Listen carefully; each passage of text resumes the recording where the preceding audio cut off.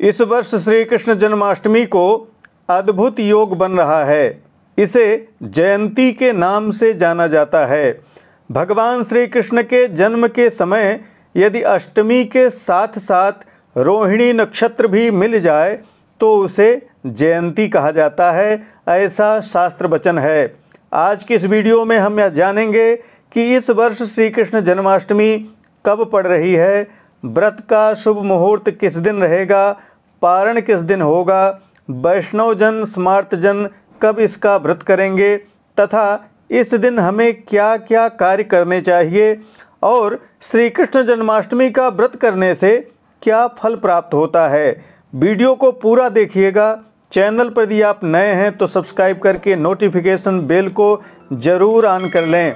आइए इस वीडियो का शुभारंभ करते हैं। भाद्रपद कृष्ण पक्ष की अष्टमी को भगवान श्री कृष्ण का प्रादुर्भाव हुआ था। इसलिए इसे श्री कृष्ण जन्माष्टमी के रूप में मनाया जाता है। इस दिन भगवान श्री कृष्ण के निमित्त व्रत उपवास करके उनका जन्मोत्सव मनाया जाता है। श्री कृष्ण जन्माष्टमी का व्रत सभी को अवश्य करना चाहिए।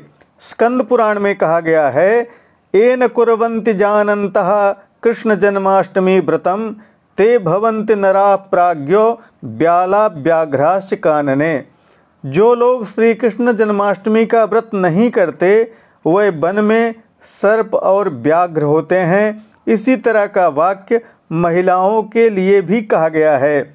वर्षे वर्षे तु या नारी, कृष्ण जन्माष्टमी व्रतम न करोति महाप्राज्ञो ब्याली भवति कानने। अर्थात प्रत्येक वर्ष में जो नारी इस व्रत को नहीं करती, वह वन में सर्पिणी होती हैं। कहने का तात्पर्य यह है कि श्री कृष्ण जन्माष्टमी का व्रत पुरुष तथा महिला दोनों को समान रूप से अवश्य करना चाहिए। और यदि वह जयंती संज्ञक हो, तब तो अवश्य ही करना चाहिए। जयंती संज्ञा के विषय में कहा गया है कृष्णाष्टम्याम भवेद्यत्र कलैका रोहिणी यदि जयंती नाम सा प्रोक्ता उपोस्या सा प्रयत्नतः। अग्निपुराण में कहा गया है कि श्री कृष्ण जन्माष्टमी में यदि एक कला भी रोहिणी नक्षत्र प्राप्त हो जाए तो उसे जयंती कहते हैं, अर्थात उसे श्री कृष्ण जयंती कहा जाता है, और यत्न करके उसका व्रत अवश्य करना चाहिए। विष्णु रहस्य में भी बतलाया गया है, अष्टमी कृष्ण पक्षस्य रोहिणी ऋक्ष संयुता, भवेत प्रौष्टपदे मासी जयंती नाम सा स्मृता। यदि भाद्रपद कृष्ण पक्ष की अष्टमी रोहिणी नक्षत्र से युक्त हो तो उसे जयंती कहा जाता है और सभी को इसका व्रत अवश्य करना चाहिए। स्कंद पुराण में कहा गया है, जन्माष्टमी व्रतम में वही प्रकुरबंति नरोत्तमा कार्यंत्यथवा लोकान लक्ष्मीस्तेषाम सदा स्थिरा। सिद्ध्यंत सर्वकार्याणि कृते जन्माष्टमी व्रतम। अर्थात जो मनुष्य श्री कृष्ण जन्माष्टमी का व्रत करते हैं एवं कराते हैं, उनके यहाँ निरंतर लक्ष्मी स्थिर रूप से निवास करती हैं और इस व्रत को करने से सभी कार्य सिद्ध हो जाते हैं। और यदि जयंती संज्ञक व्रत हो तो वह महाजप, मुक्ति, धर्म, अर्थ, काम, मोक्ष, चारों पुरुषार्थ के साथ साथ वांछित फल को देने वाला होता है। विष्णु धर्म में कहा गया है, रोहिण्यामर्धरात्रे च यदा कृष्णाष्टमी भवेत् तस्यामभ्यर्चनम हंति पापम त्रिजन्मजम। अर्थात आधी रात के समय रोहिणी नक्षत्र में यदि अष्टमी हो जाए तो उसमें श्री कृष्ण का पूजन करने से तीन जन्म के पाप नष्ट हो जाते हैं। तो मित्रों, इस वर्ष 2023 में अर्धरात्रि में अष्टमी और रोहिणी दोनों प्राप्त हो रहे हैं और यह जयंती संज्ञक व्रत रहेगा, जिसे सभी को प्रयत्न पूर्वक अवश्य करना चाहिए। आइए इस वर्ष का शुभ मुहूर्त जान लेते हैं। भाद्रपद कृष्ण पक्ष वर्षा ऋतु, दिनांक 6 सितंबर 2023 दिन बुधवार को श्री कृष्ण जन्माष्टमी, जयंती का व्रत किया जाएगा। इस दिन शाम सात बजकर अट्ठावन मिनट तक सप्तमी रहेगी।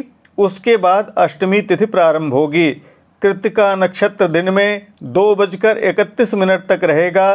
तदुपरांत रोहिणी नक्षत्र प्रारंभ होगा। अर्धरात्रि में रोहिणी नक्षत्र तथा अष्टमी तिथि और दिन बुधवार भी प्राप्त रहेगा। इसलिए इस दिन सभी गृहस्थ जन स्मार्थ जन श्री कृष्ण जन्माष्टमी का व्रत करेंगे। गोकुल में तथा वैष्णव संप्रदाय के अनुयायी जन दिनांक सात सितंबर को जन्माष्टमी का व्रत करेंगे।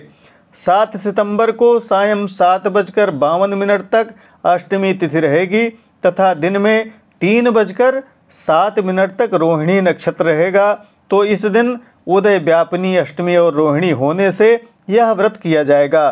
परंतु अर्धरात्र में न तो अष्टमी रहेगी और ना ही रोहिणी नक्षत्र रहेगा। इसलिए सभी स्मार्त जनों को, गृहस्थ जनों को 6 सितंबर को ही अष्टमी का व्रत करना चाहिए। व्रत का पारण तिथि के अंत में अथवा उत्सव के अंत में करना चाहिए। उत्सव का अंत 7 सितंबर को सुबह हो जाएगा। इसलिए पारण 7 सितंबर को सुबह कर सकते हैं। कहा गया है स्मार्तानाम द्वितीय दिने अष्टम्याम यामद्वयाधिक सत्वेपि प्रातः काल एव पारणोक्ता तिथ्यन्ते तिथिभान्ते वा पारणा यत्र चोदिता। यामद्वयोर्धगामिन्याम प्रातरेव ही पारणम। अर्थात द्वितीय दिन दो याम से अधिक तिथि होने पर प्रातः काल ही पारण कर लेना चाहिए। इसलिए जो लोग 6 सितंबर को जन्माष्टमी का व्रत करेंगे, वह व्रत का पारण 7 सितंबर को प्रातः काल ही करेंगे।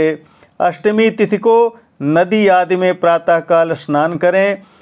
घर में पवित्र स्थान पर भगवती देवकी का सूति गृह निर्माण करें, व्रत का संकल्प करें। सूतिका गृह के मध्य में भगवान श्री कृष्ण की प्रतिमा का स्थापन करें।